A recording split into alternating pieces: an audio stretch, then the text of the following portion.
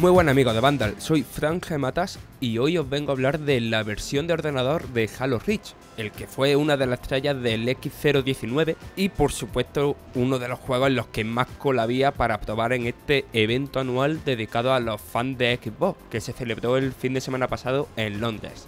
Desde aquella adaptación de Halo 2 en 2007, que no se salvaba de múltiples problemas, los jugadores de PC no han podido disfrutar de la saga de Bungie, sin contar Halo Wars, los juegos de estrategia.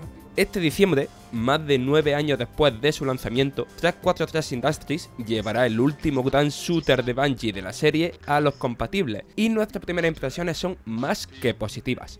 La verdad es que da respeto ponerse frente a uno de los mejores shooters que ha creado Bungie, la única desarrolladora del género que puede mirar cara a cara a ID Software. No hacía pensar, ¿y si los gráficos que nos sorprendieron al final de la pasada generación ya no dan la talla?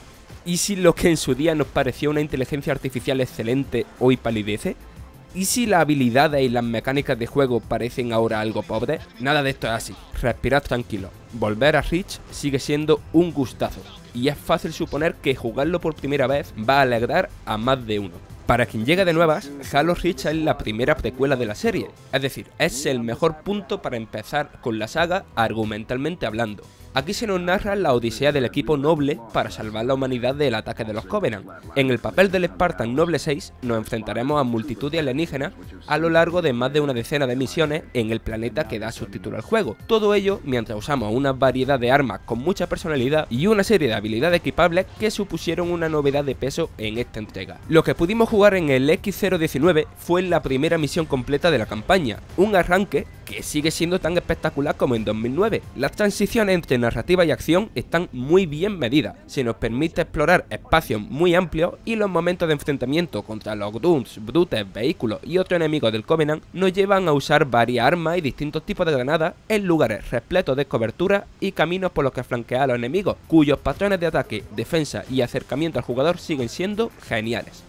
Pero todo ello lo hemos hecho con un apartado de visual que lo hacía parecer más bien un juego de principios de la presente generación de consolas que de finales de la pasada. Los efectos de las explosiones son más espectaculares que nunca, las texturas han mejorado mucho entero, la distancia de dibujado ha aumentado y hasta parece aún más colorido que en Xbox 360. Eso sí, la animación en las cinemáticas se notan como algo del pasado y choca mucho ver a NPC humanos con caras clónicas y apenas sin polígonos. Lo realmente importante aquí es que el framerate, la tasa de fotogramas por segundo, está desbloqueada en ordenador. Eso convierte a un juego que ya era frenético por momentos en una consola que lo movía a 25 o 30 FPS en un título mucho más espectacular. Que un shooter como Halo Reach doble o triplique según nuestro ordenador su fluidez no solo resulta en un apartado visual más vistoso, sino que afecta directamente a la jugabilidad. Nos motiva a movernos por el escenario constantemente, saltando mientras lanzamos granadas, cambiando de arma y jugando de manera más dinámica que con el mando en las manos. A esto también afecta, claro, el control podremos seguir jugando con mando si queremos, por supuesto, pero el control con teclado y ratón no ha parecido muy bien adaptado. Al principio es cierto que se hace algo raro, que en lugar de tener asignada el arma a la tecla numérica, cambiamos entre ellas pulsando el 1, y lo mismo ocurre al alternar entre granadas.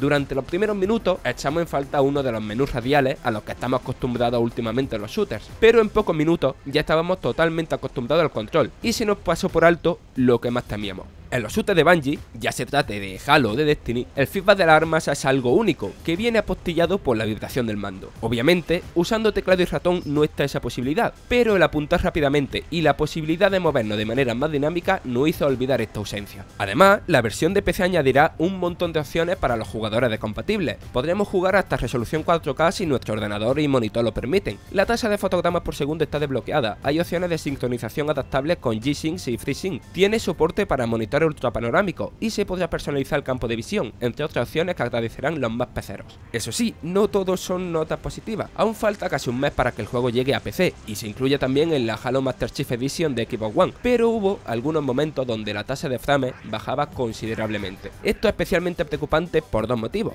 El primero es que en este tipo de eventos los juegos se dejan probar en ordenadores con componentes de gama alta, aunque no nos pudieron decir qué tarjeta gráfica y procesador tenía el equipo en el que jugamos, y no pinta bien que una remasterización de un juego de hace 10 años sufra ralentizaciones en un equipo que presumimos que será de gama alta. El segundo motivo es que desde el anuncio de la adaptación se anunciaron unos requisitos mínimos y recomendados muy bajos, y esto no hace sospechar que un PC con una Nvidia GTX 560 y un procesador AMD FX 4100 como el que recomendaban, quizá no vaya a moverlo tan bien como no imaginábamos. Pero hay que tener en cuenta que esto no era una build final del juego, hay margen de mejora. Otro aspecto negativo tiene que ver con que la remasterización no será tan completa desde el inicio como el juego original, aunque eso no quiere decir ni mucho menos que venga corto de contenido. Además de la campaña de unas 10 horas de duración y del modo tiroteo, lo que fue la respuesta de Bungie al modo horda de Gears of War y que sigue siendo tan divertido y difícil como en su día, estará el modo multijugador con más de 20 mapas, el modo invasión y todos los modos y niveles creados con el modo Forja en su día en Xbox 360, pero lamentablemente este remaster no permitirá crear en el modo Forja hasta su lanzamiento en 2020. Y lo mismo ocurre con el modo teatro, que servía para guardar highlights de la campaña y del multijugador. Pero a pesar de estos problemas, volver a Halo Reach nos ha sorprendido, porque ni esperábamos que el juego hubiera envejecido tan bien, ni hubiéramos supuesto que el nuevo control y la tasa de frame desbloqueado cambiaran tanto para mejorar la experiencia. Además, aunque no nos gusta demasiado tener en cuenta el precio